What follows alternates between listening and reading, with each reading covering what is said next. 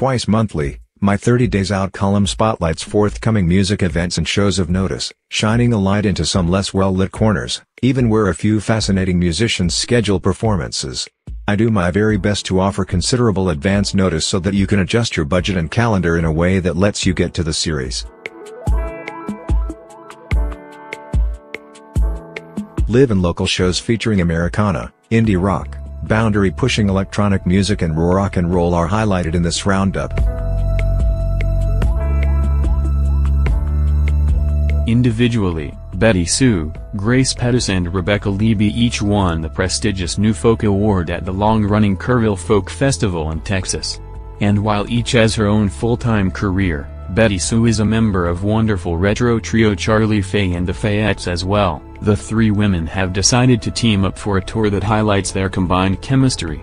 The tour presents material from each musician's solo career as well as previewing songs from the trio's upcoming EP Waterline under the band name Nobody's Girl. For some, rock and roll only succeeds when at its sleaziest, slick and polished rocking simply doesn't move them. And for such connoisseurs of the elemental, there is, and has long been, Crank County Daredevils. Starting in 2003 and continuing to today, save for a six-year break, this noisy quartet has churned out music that tears away the sheen and polish, leaving it in a bloody heap on the stage. Well, figuratively, at least. And while they've aged right along with rest of us, the Daredevils continue to live up to the title of their 2004 debut, Kings of Sleaze. And yes, singer Scotty P does look a bit like Ted Nugent. Gunpowder Gray opens. Florida indie rock group Surfer Blood released its first album, Astro Coast, in 2010, though guitarist John Paul Pitts and drummer Tyler Schwartz had already been playing together under another name for a few years. Some early recognition at CMJ, and from Pitchfork reviewers, buoyed the band and raised its profile.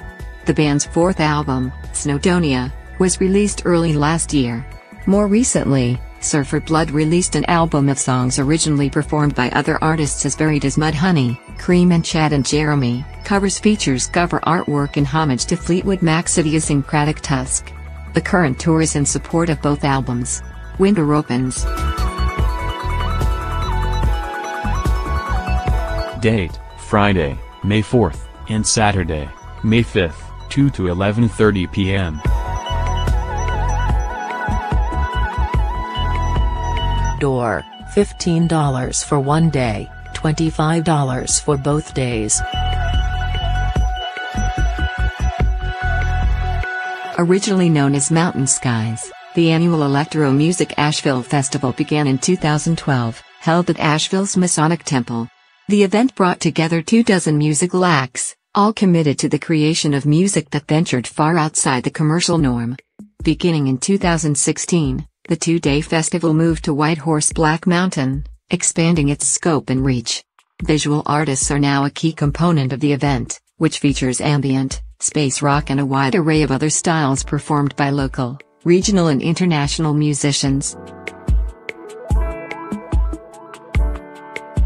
You may also enjoy, with way more than 2,500 entries and more than 550 interviews, my MusoScribe blog features new content, features, reviews and more, every business day. A proud tradition, now in its 10th year.